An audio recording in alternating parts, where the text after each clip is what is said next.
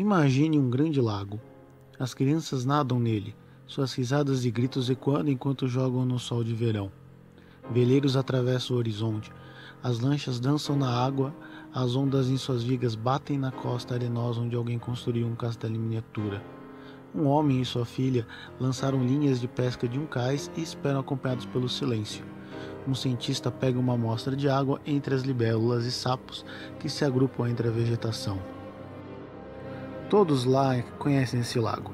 Eles comeram peixe dele, pegaram girinos nele e sentiram seu fundo lamacento entre os dedos dos pés. Eles viram mapas dele apontado para a parede do escritório lá no acampamento e imagens de satélite na internet.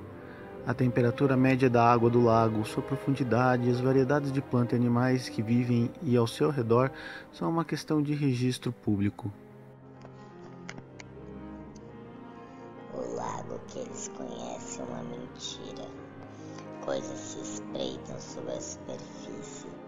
Teu fundo está cheio de túneis levando a vastos mares subterrâneos, habitados por seres muito estranhos para que as mentes mortais compreendam, em sua maioria parte, as criaturas que vivem nessas profundezas nunca as deixam, mas ocasionalmente um encontra o seu caminho para dentro do lago e arrasta o nadador ao fundo para devorá-lo no seu ladezeiro.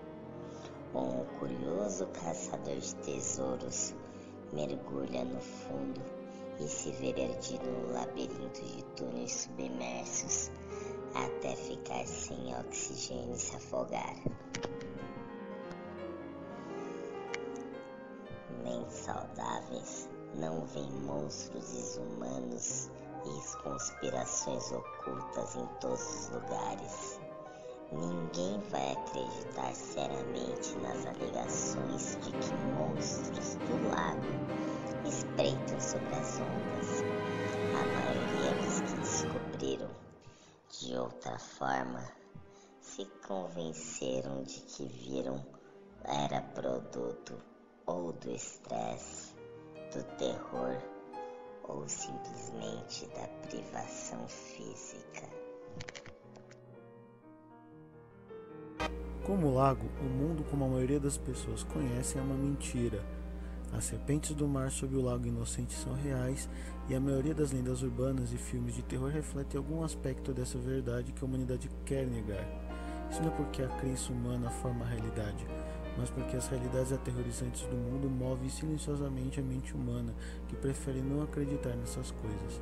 Existem vampiros, os lobisomens são reais e Frankenstein é apenas uma obra de ficção imaginativa que os humanos não reconhecem a verdade por trás da mentira?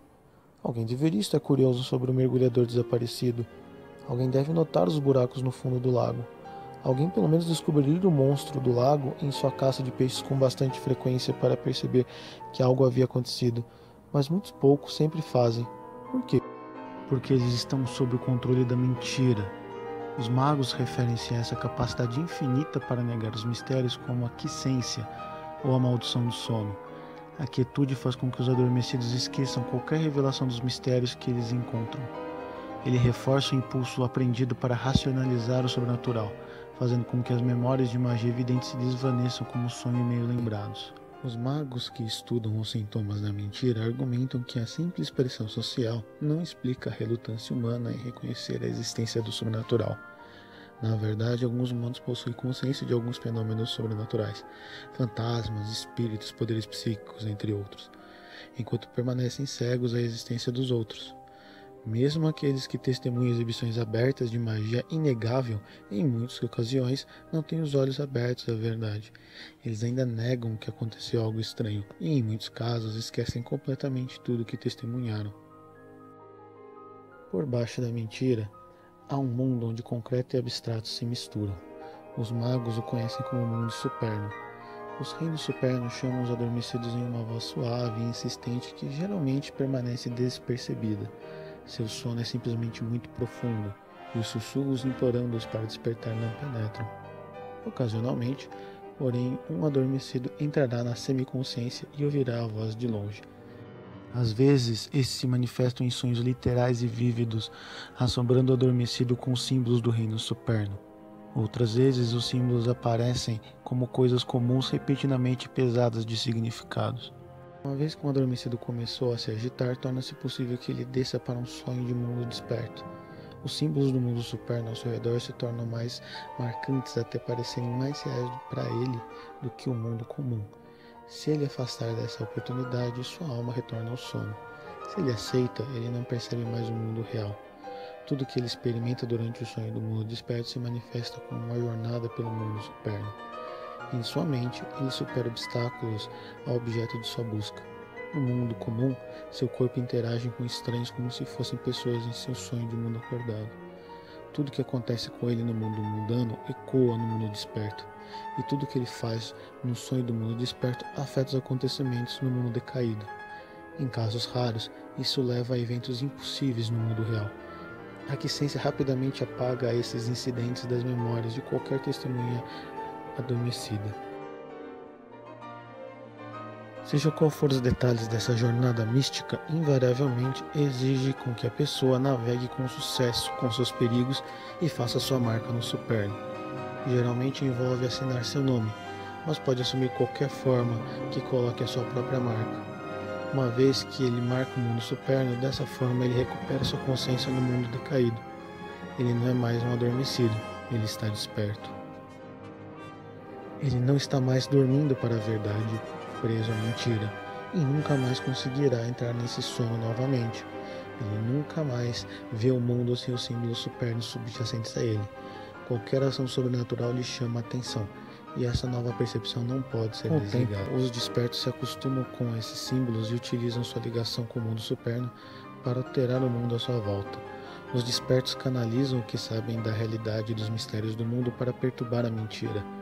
Ele imagina o efeito que ele deseja, concentra sua mente nos símbolos que criará esse efeito e, através do meio da sua iluminação e força de vontade, faz o mundo obedecer. Esses efeitos mágicos do impossível dão aos despertos um nome popular: magos. Durante o despertar, os símbolos de todo o poder do reino superno e a fonte da magia geralmente se manifesta como uma torre que o novo mago deve alcançar, subir e marcar, finalizando seu despertar. Cada reino superno representa um caminho, uma senda, e marcando de alguma forma, o candidato declara-se um membro dessa senda. Os magos não escolhem conscientemente o reino superno que os chama, mas os caminhos parecem ter tendências em relação a qual tipo de pessoa desperta para eles. Os magos filosóficos descrevem os caminhos como revelando a verdade por trás de cinco aspectos da mentira: cinco reinos supernos, cinco torres, cinco caminhos, cinco sendas. São elas: Acantos, bruxas e encantadores da senda de Arcádia, reino superno de destino e tempo e morada das fadas. Os mástigos, feiticeiros e psiconautas da senda do pandemônio, reino superno da mente e do espaço e morada dos demônios. Moros, alquimistas e necromantes da senda de Estígia, reino superno de morte e matéria e morada de espectros. Óbrimos, taumaturgos e teurgos da senda do éter, reino superno de primórdio e força e morada dos anjos.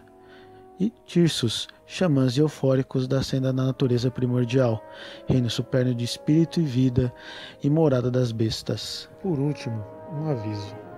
As ordens concordam que a mentira é muito elaborada e muito bem visada para ser um simples acidente. Há uma inteligência orientadora por trás disso. Os magos sabem que alguns símbolos têm uma aparência de vida. Eles convocam entidades supernas, invocando-os do mundo superno para o nosso decaído. A maioria está contente de deixar os magos chegarem a eles, mas os símbolos ocultos ligados à mentira são evidências de que algo, lá no fundo dos reinos supernos invisíveis, está ativamente tentando paralisar a capacidade da humanidade de perceber além do mundo decaído. Mais do que tentar, está tendo sucesso. O que é esse inimigo depende do conto mas os magos usam a palavra grega para a regra do lado de fora, Echarta.